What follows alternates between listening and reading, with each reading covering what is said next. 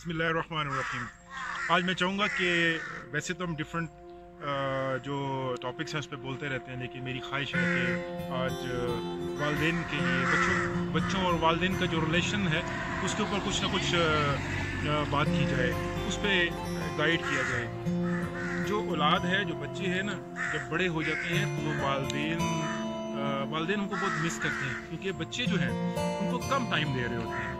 और जब वो कम टाइम देते हैं तो सारी उम्र वालदेन ने अपने बच्चों को वक्त दिया होता है। उनके साथ बैठ के खाना खाया होता है। उनके इंतज़ार में कई कई घंटे वो वेट करते थे कि बच्चे आएँगे तो हम खाना खाएँगे। लेकिन स्पेशली जो मेरी एज के जो बच्चे होते हैं ना, जब वो बड़े बिजनेसमैन बन जाते हैं या किसी अच्छे अहदे पे चले जाते हैं अच्छी जॉब पे चले जाते हैं। अव्वल तो वो अपने वालदेन को वक्त ही नहीं देते, रात को दस बजे आते हैं, ग्यारह बजे आते हैं। और कई दफ़ा तो ऐसा होता है कि वो हफ़्ता हफ़्ता वालदेन के साथ उनकी मुलाकात ही नहीं होती है। तो मैं चाहूँगा यहाँ पे कुछ दो तीन पॉइंट्स में मेरे जहन में है कि उन उनको एहसास दिलाया जाए, ऐसी, ऐसे बच्चों को एहसास दिलाया जाए कि अपने वालदेन को कैसे टाइम देते हैं। नंबर वन जब आप अपनी जॉब से चाहे रात को ग्यारह बजे आ रहे हैं, बारह बजे आ रहे हैं पाँच बजे आ रहे हैं जॉब करके आ रहे हैं बिज़नेस से वापस आ रहे हैं। तो जैसे आपके वालदेन आपका इंतज़ार करते थे बचपन में, आपके बगैर कोई काम नहीं करते थे तो आपका आज भी वैसे इंतज़ार था। तो जब आप ऑफ़िस से, काम से वापस आए तो 10-15 मिनट के लिए, आधे घंटे के लिए अपने वालदेन को वक्त दें और उनके साथ बैठे, उनसे पूछें कि आज का दिन कैसा गुजरा, उनके साथ गपशप करें। उनके साथ छोटी छोटी बातें शेयर करें ऑफ़िस की बातें उनके साथ शेयर करें। और समटाइम ऐसा भी होता है कि कुछ बच्चे इरीटेट करते हैं माँ बाप कोई एक बात होते हैं, जब वालदेन थोड़े से बूढ़े हो जाते हैं ना तो वो क्या कहते हैं, एक ही बात को बार बार करते हैं, वो फलां ऐसा हमने किया ज़िंदगी में, बच्चे इरीटेट करते हैं, कहते हैं, ये तो आपने पहले भी बताया था, ये तो बाबा आपने दस दफ़ा बताई थी ये बात।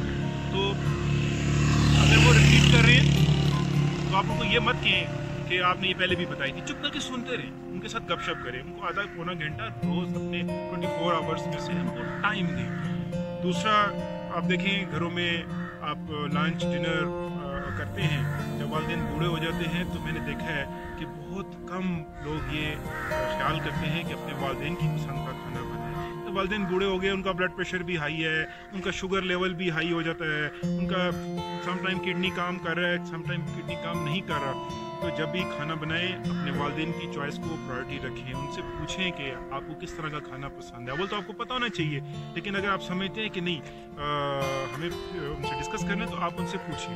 एटलीस्ट वन डिश उनकी पसंद की आपके डाइनिंग टेबल पे पड़ी हुई हो। कोशिश करें खाना अपने वालदेन के साथ खाएँ उनको अलग मत दें। जब आप अपने वालदेन को टाइम देंगे उनके साथ गपशप करेंगे उनके साथ वक्त गुजारेंगे तो वो जो आपने देखा है ना कि रोड के किनारे कुर्सियाँ डाल के बैठे होते हैं, वो जो बाबे इकट्ठे होकर बैठे होते हैं, मोहल्ले में बैठे होते हैं, वो इसलिए बैठते हैं कि उनकी औलाद उनको टाइम नहीं दे रही होती।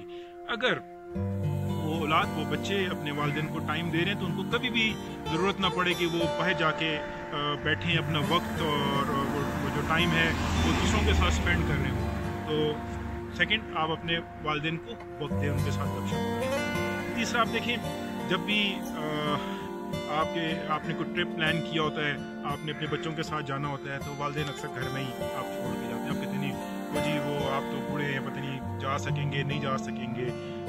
ठीक है कुछ जगह ऐसी होंगी जहाँ पे आप अपने वालदेन को साथ नहीं लेके जा सकते। लेकिन महीने में एक दफ़ा at least once a month आप प्लान करें अपने वालदेन के लिए उन, उनके तबीयत के हिसाब से, उनकी एज के हिसाब से, उनकी कन्वीनियंस के हिसाब से आप उनका एक प्लान करें कि बाबा आज हम आपके, आज हम आपके लिए प्लान करते हैं, आप हमारे साथ चले ट्रिप पे, हम आपके साथ जा रहे हैं ट्रिप पे। तो इससे वो हल्के होंगे, वो फ्रेश होंगे और वो आप, वो जो सारी ज़िंदगी उन्होंने आपको टाइम दिया, आपके लिए किया, आपके लिए सारा कुछ किया, आज उनका टाइम है कि आप उनको वक्त दें। अगर आप उनको वक्त नहीं देंगे तो आप सही नहीं कर रहे हैं उनके साथ। आमतौर पर रात को सोने से पहले, अपने बेड पे जाने से पहले, अपने वालदेन के पास जाएँ उनके पास 10-15 मिनट बैठे, उनकी पाँव को हल्का सा मसाज करें। अगर उन्होंने मेडिसिन लेनी है,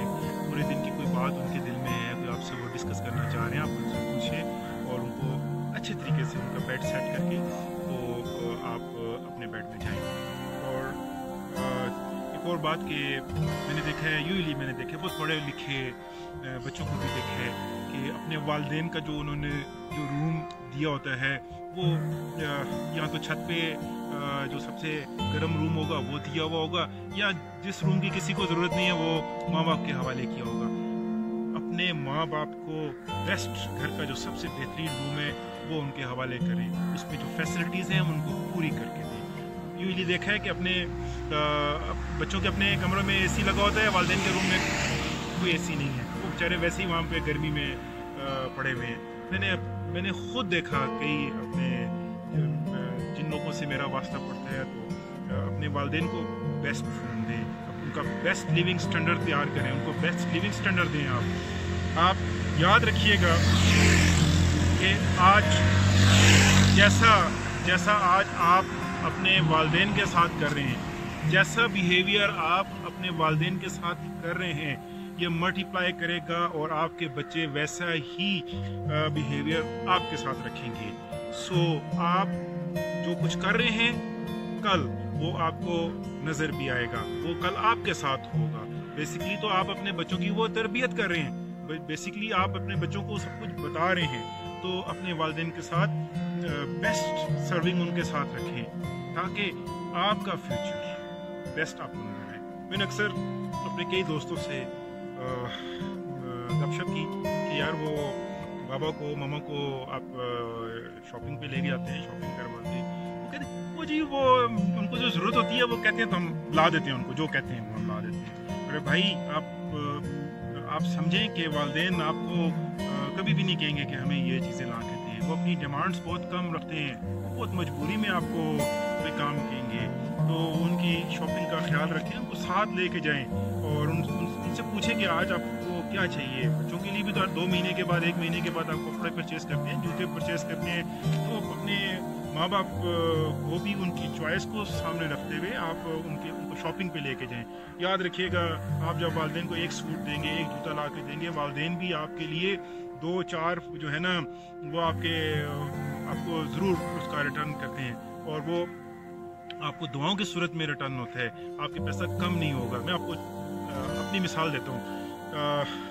मेरे वालदे अभी ज़िंदा नहीं है लेकिन जब वो ज़िंदा थे तो मैं अपने अक्सर ऐसा करता था कि अपने अबू का कपड़े शपड़े वो जो थे वो ले आ, ले आया करता था। तो चार दिन के बाद एक हफ़्ते के बाद मैं देखता था कि मेरी कबर्ड में जो है वो दो सूट हैंग हुए हैं। किसी से पूछा, मैंने कहा, ये क्या है? मैंने तो ये कपड़े नहीं लेकर आया। ये मेरे ये कपड़े कहाँ से आ गए? तो उन्होंने कहा, आपके बाबा ने जो है ना वो ये दो सूट आपके लिए बनवा के तो ये हैंग करवा दिए। ज़रा सोचें आप कि मैंने कि एक सूट उनके लिए ख़रीद लिया और उनको ला के दे दिया। अब उनके दिल में है कि ये मेरा बच्चा मेरा ख्याल रखा है तो मुझे इसका ख्याल करना है। और वो मुझे दो सूट्स की दो सूट दो ड्रेसेस की मद में वो जो है, वो मुझे मिल रहा है। तो आपका पैसा आपके वालदेन पे लगाने से कम नहीं होगा। आई बिलीव कि ये पैसा आपका मल्टीप्लाई होगा, बढ़ेगा और वो दुआओं की सूरत में वो जो है, आपको मिलेगा। तो अपने वालदेन को अपने वो जो, उनकी जो ज़रूरियात हैं, उनकी जो शॉपिंग है, उस आपकी जो महीने की लिस्ट बनती है टॉप पे उनका जो है वो आप लिखें कि मेरे वालदेन के ये ड्रेसेस मेरे वालदेन के ये जूते, ये उनकी चीज़ें हैं, ताकि आपके बच्चे भी कल आपकी चीज़ों को अपनी शॉपिंग लिस्ट में डालें। जो लोग परेशान हैं, जिनके कारोबार नहीं चल रहे, जिनकी नौकरियाँ नहीं लग रही जिन कर्ज चढ़े हुए हैं कोई भी परेशानी है, वालदेन की खिदमत करना शुरू कर आप देखें, उनकी सारी परेशानियाँ दूर हो जाएँगी, उनके कर्ज ख़त्म हो जाएँगे। कुछ लोग ये भी कहते हैं कि हमारे बच्चे हमारी इज़्ज़त नहीं करते, हमारे बच्चे हमारी रिस्पेक्ट नहीं करते। अपने वालदे की इज़्ज़त करना शुरू कर दें, अपने वालदे से दुआएँ लेना शुरू कर दें, अपने वालदे को तोजह देनी शुरू कर दें, आपके कर्ज भी ख़त्म हो जाएँगे, आपकी परेशानियाँ भी सारी ख़त्म हो जाएँगी, आप, आपको अच्छी नौकरियाँ भी मिलना शुरू हो जाएँगी। आपके आपके जो सही मायनों में पीर हैं, आपके वालदे हैं, आपके माँ बाप हैं। और बाप की इज़्ज़त करना शुरू